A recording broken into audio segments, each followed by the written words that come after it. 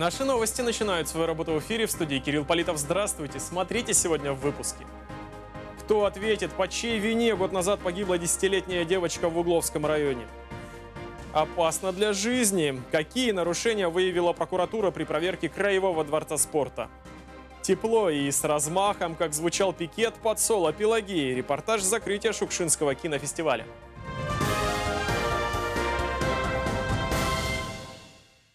Четыре кандидата на пост губернатора Алтайского края официально подали документы в Краевую избирательную комиссию. Срок приема документов завершился. Напомним, трое претендентов в Рио губернатора Виктор Томенко, выдвинутый Единой России, кандидат от ЛДПР Владимир Семенов и от Справедливой России Людмила Суслова успешно прошли муниципальный фильтр и сдали весь необходимый пакет документов в край избирком еще в пятницу, 27 июля. Днем позже, 28 в последний день приема документов, подписные листы в свою поддержку принес бизнесмен Андрей Крылов. Его выдвинула партия Роста. Он так же, как и его соперники, набрал 560 голосов и предоставил свой сенаторский список. Отметим еще два кандидата, ранее заявивших о себе. Это общественный деятель Виктор Рау и журналист Сергей Сущевский из предвыборной гонки выпали. Они не смогли преодолеть муниципальный фильтр и собрать необходимое количество голосов в свою поддержку.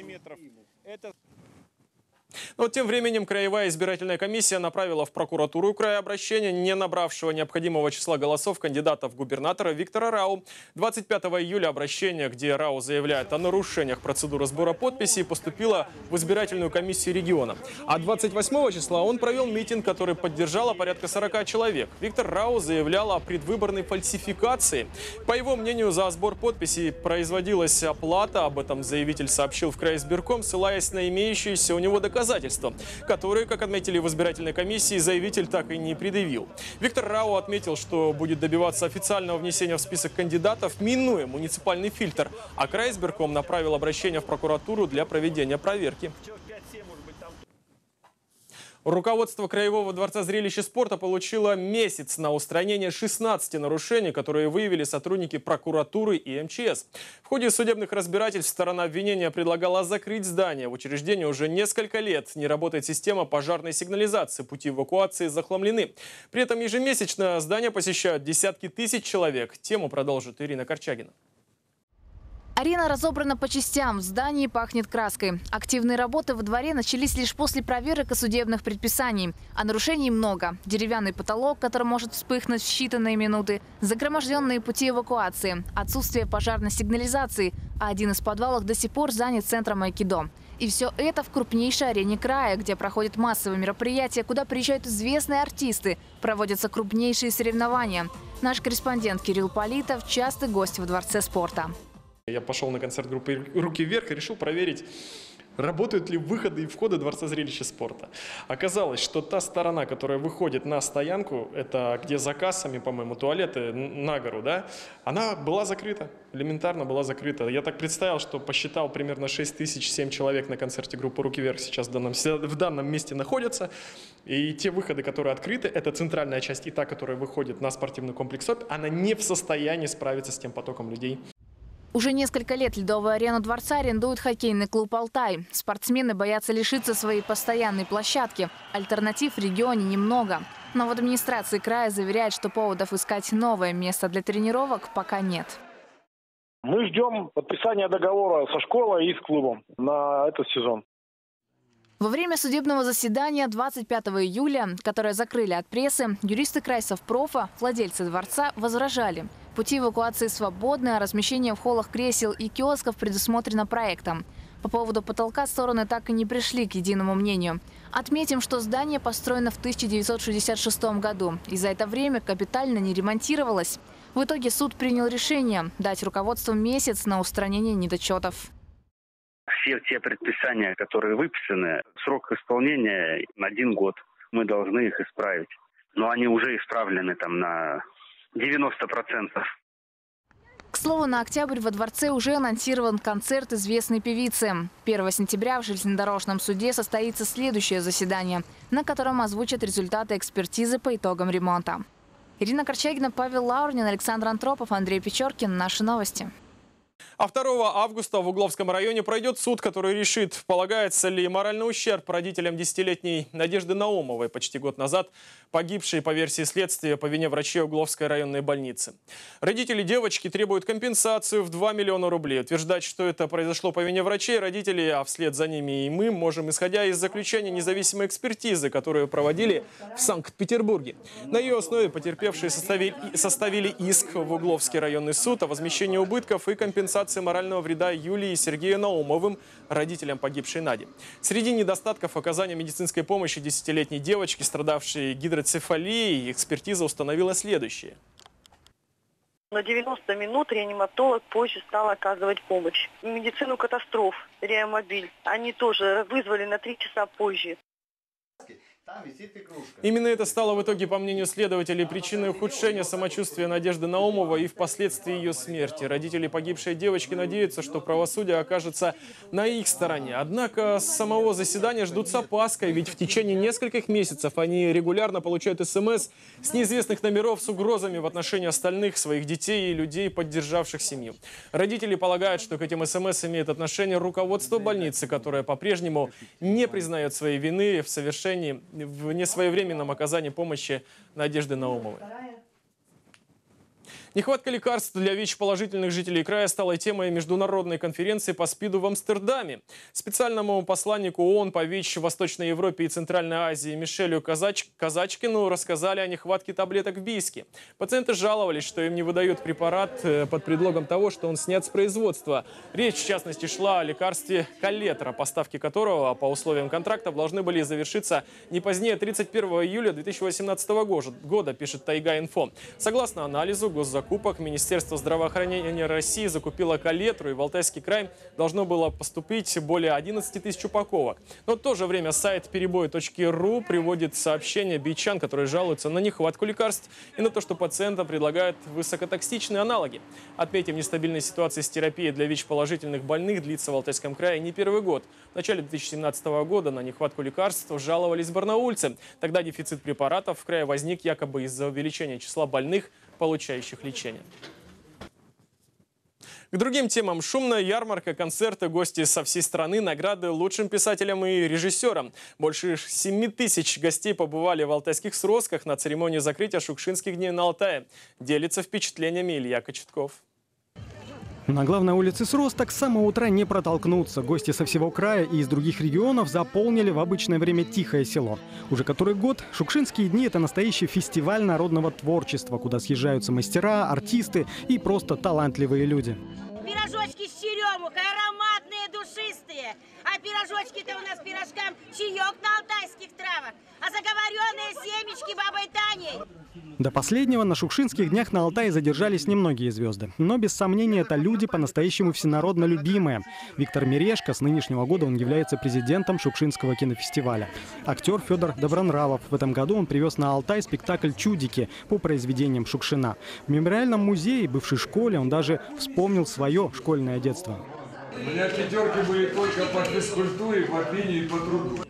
В этом году значительная часть площадок праздника переместилась на пикет. В городе мастеров, например, можно было с народным творчеством ознакомиться, на народных инструментах поиграть. Все увиденное в Сросках впечатлило и статусного гостя Шукшинских дней заместителя министра культуры Российской Федерации Ольгу Ярилову. Она заверила журналистов, что фестиваль имеет огромное значение, и федеральные власти будут его поддерживать и дальше. Гости приехали не только за впечатлениями, но и сами привезли подарки. Валерий Фомин, председатель жюри Шукшинского кинофестиваля, киновед, подарил музею Шукшина в Сростках рукопись сценария фильма «Печки-лавочки». Это сказание о Сроскинской земле, почти как у Пырева, сказание о земле сибирской. Наконец, пусть он будет здесь, пусть будет вашим «да», потому что он родился здесь. Будут люди простые жить, радоваться, грустить, любить. И пусть эта любовь в сердцах навсегда, навсегда. Лауреатом литературной премии стал писатель, драматург, журналист Владимир Костин из Томска за книгу «Коробок». Лучшим полнометражным фильмом 20-го кинофестиваля признали картину «Карп отмороженный» Владимира Котта. В программе короткого метра главный приз вручили фильму «Дерево» производства России и Чечни. Специальный приз за соответствие лозунгу фестиваля «Нравственность есть правда» вручили народному артисту Федору Добронравову за фильм «Жили-были». Завершился праздник долгожданным для многих концертом певицы Пелагеи.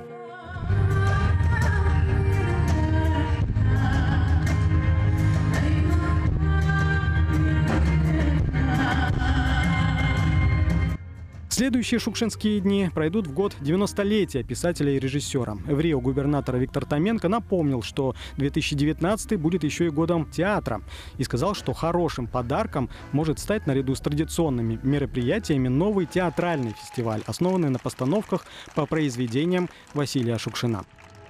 Илья Кочетков, Александр Антропов. Наши новости. Городская свалка прямо под окнами новых домов. 14-летний барнольский школьник обнаружил в одном из спальных районов настоящую помойку. Снимки с горами мусора, в которых утонула часть окраины, буквально взорвали интернет. Свалка образовалась, скорее всего, после того, как от построенных домов мусор оставшийся свозили сюда. Почему ты так решил? Um, здесь много строительного мусора, такая как монтажная пена, кирпичи. Мальчика заинтересовал вид из окна новой многоэтажки, в которую он совсем недавно переехал вместе с родителями. Весь строительный мусор, что остается после ремонта квартир, жители выбрасывают прямо во враг, недалеко от домов. Большинство пользователей возмутились и посоветовали, посоветовали автору обратиться в прокуратуру города и администрацию индустриального района. Правда, они не учли, что Андрей несовершеннолетний и просто хотел таким образом обратить внимание взрослых на проблему. Я решила придать эту новость огласке, потому как такой природный уголок погибает. Здесь когда-то были деревья, но они все померли из-за мусора. Сюда выходят окна с жилых домов, и очень много людей видят это, но они ничего не делают. Отметим, что сразу после того, как мы обратились в администрацию города с просьбой дать комментарии, на место выехала специальная комиссия о результатах проверки в ближайших выпусках. 160 километров, 4 дня пути и 100 тысяч рублей. Жительница Барнаула Виктория Наспор дошла пешком из Барнаула до Бийска. Финишировала она вчера, проведя в пути 4 дня. Ну все, она это сделала. Дошла девочка. Напомним, поводом для необычного путешествия стал спор. На кону оказалось 100 тысяч рублей. Несмотря на непростые погодные условия, девушка честно прошла весь путь пешком, размещая по ходу фотографии и видео на своей странице в одной из социальных сетей. По ее словам, продуктами и просто добрым словом помогали многие проезжающие мимо. Также Виктория признается, что необычную моральную поддержку ей оказали подписчики и просто звонившие неравнодушные люди. Девушка призналась, что потратит выигранную сумму намеренно прямо в Бийске. Торжество балета, фокусники, бармен-шоу, розыгрыши лотерея. Торгово-производственный комплекс Алтайского края отметил День торговли.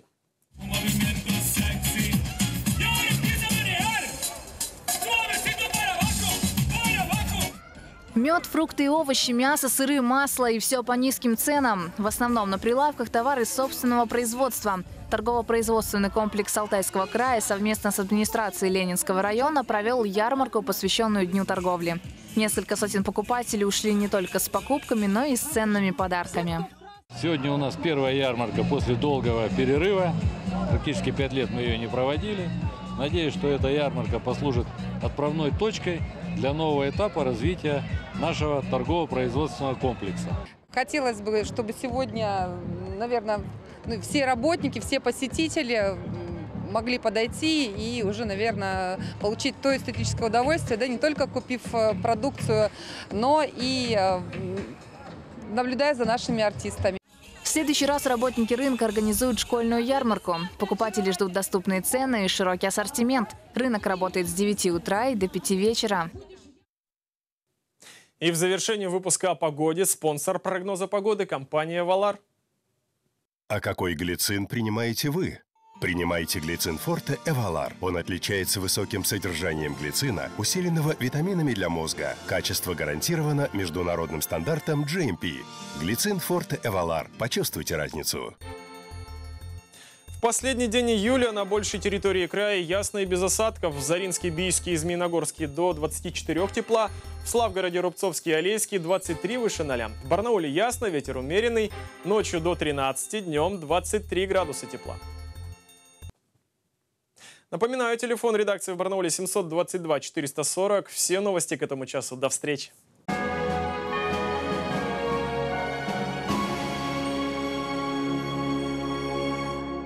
Георгий Андреев воевал на Западном, Первом и Четвертом украинском фронтах. Отличился в боях на Польше. На станции Беч батальон майора Андреева обратил в бегство местный гарнизон немцев. Позже разгромил вражескую группировку. А во время форсирования реки Соль закрепился на занятых рубежах. Во время наступления на село Ворик Георгий Андреев одним из первых ворвался в штаб пехотного полка противника и захватил знамя. За проявленный героизм был удостоен звания Героя Советского Союза.